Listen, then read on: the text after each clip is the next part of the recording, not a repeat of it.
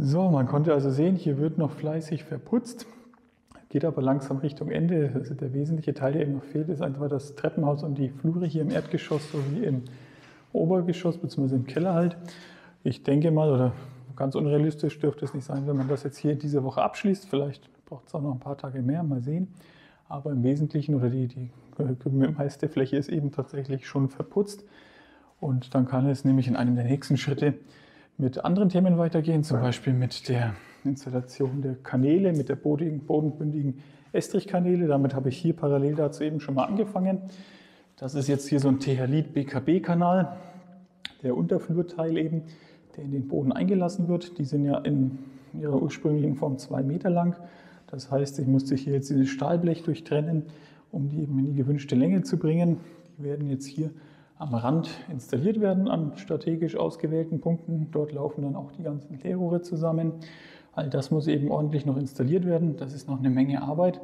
Das ist jetzt aber mal eine andere Form von Arbeit. Irgendwie mit Metall hat man zu tun, ist auch nicht ganz trivial und nicht ganz unaufwendig hier das äh, ja, zu trennen und zu schneiden.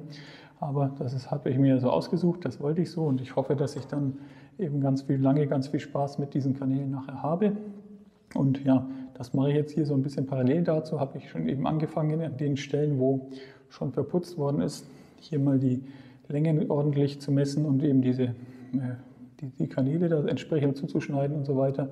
Dazu gibt es aber sicherlich nochmal an anderer Stelle mehr Videos zu, denn auch das, dieses Thema wird mich jetzt noch ein paar Wochen begleiten, bis jetzt hier eben alles installiert ist, bevor dann eben der Bodenaufbau folgen kann, bevor dann die Fußbodenheizung installiert werden kann, beziehungsweise eben der Estrich folgt müssen all diese Kanäle eben installiert werden. Ein Problem, was ich mit diesen Kanälen aktuell habe, ist hier so die globale Ressourcenknappheit, beziehungsweise einfach die, die Verwerfungen, die es gerade gibt um Rohstoffe, die man eben im Baubereich aktuell braucht.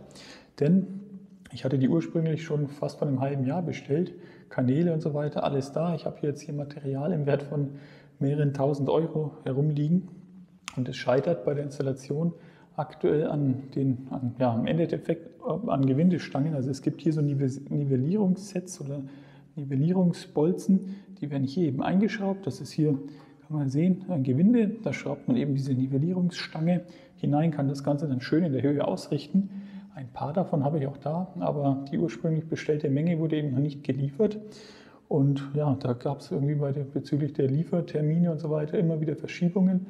Jetzt habe ich noch keinen fest zugesagten Termin, da bin ich noch in der Klärung und hoffe, dass ich das irgendwie äh, in absehbarer Zeit hier an die Baustelle schaffen kann. Denn wie gesagt, hier scheitert es jetzt irgendwie an Centartikeln und ich kann mit Elektroinstallation, die eben viele tausend Euro gekostet hat, nicht weitermachen, weil eben besagte Gewindestangen fehlen. Das ist ein bisschen nervig, das ist ein bisschen ärgerlich und das ist jetzt hier einfach irgendwie dem globalen Stahlmarkt oder wie auch immer zuzuschreiben. Ich persönlich habe jetzt hier in den letzten Tagen im Bereich der Fassade auch einiges gemacht.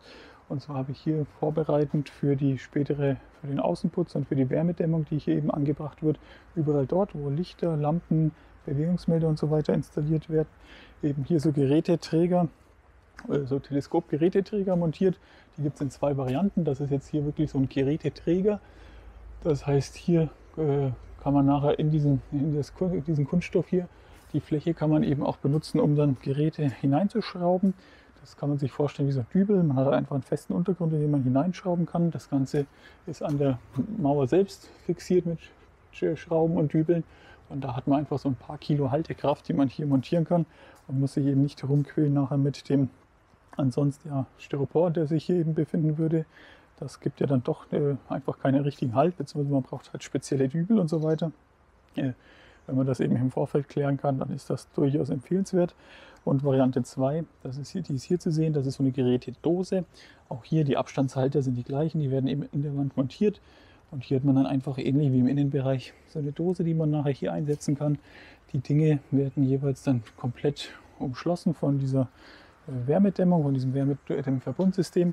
Muss halt passgenau hier angearbeitet oder halt gearbeitet werden aber insgesamt doch eine sinnvolle Sache, praktisch und vor allem auch thermisch entkoppelt. Das ist komplett Kunststoff, das ist jetzt hier irgendwie kein Metall, das jetzt die, die Energie, die Wärme eben aus der Wand raus in den Außenbereich befördert. Insofern ist das schon eine schöne Sache. Eine weitere Veränderung hier im Außenbereich ist direkt über dem Eingang zu sehen, beziehungsweise beim Eingang, über dem Eingang. Und zwar in Form dieser drei schwarzen Blöcke, die hier montiert worden sind, beziehungsweise die ich hier montiert habe. Und zwar sind das sogenannte Schwerlastkonsolen, in dem Fall von der Firma Dosteba. Und das ist einfach der Hintergrund, dass man auch hier aufgrund dieses Wärmedämmverbundsystems, das wir eben haben werden, das ist 12 cm stark.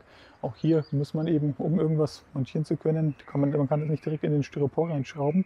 Unser Vordach wiederum, das wird so ein L werden. Das heißt, hier gibt es so eine überspannte Fläche und dann gibt es halt eine, die nach unten zeigt. Da ist dann auch eine Stütze drin, das trägt sich dann irgendwie so ein bisschen selbst. Aber gerade hier in diesem Bereich, da braucht es dann doch nochmal die Möglichkeit, das an der Wand eben zu fixieren.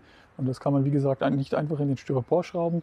Gleichzeitig kann man aber auch nicht so ohne weiteres eben in den Styropor oder durch den Styropor irgendwie ins Mauerwerk reinschrauben. Das ist einfach statisch nicht so ganz einfach, dass das dann die entsprechenden Kräfte eben äh, ja, aushält. Und zum anderen aber auch hat man da eben ganz schnell wieder diese Wärmethematik und muss das irgendwie eben thermisch dann entkoppeln. Ansonsten hat man das Problem, dass man da irgendwie die Wärme mit Metall aus der Wand leitet.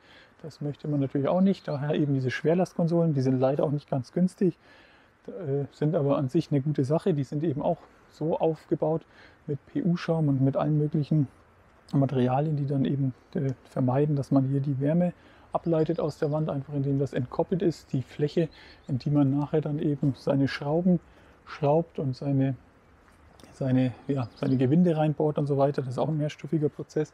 Die sind einfach nochmal entkoppelt von dem Block, der dann eben an die Wand geschraubt ist.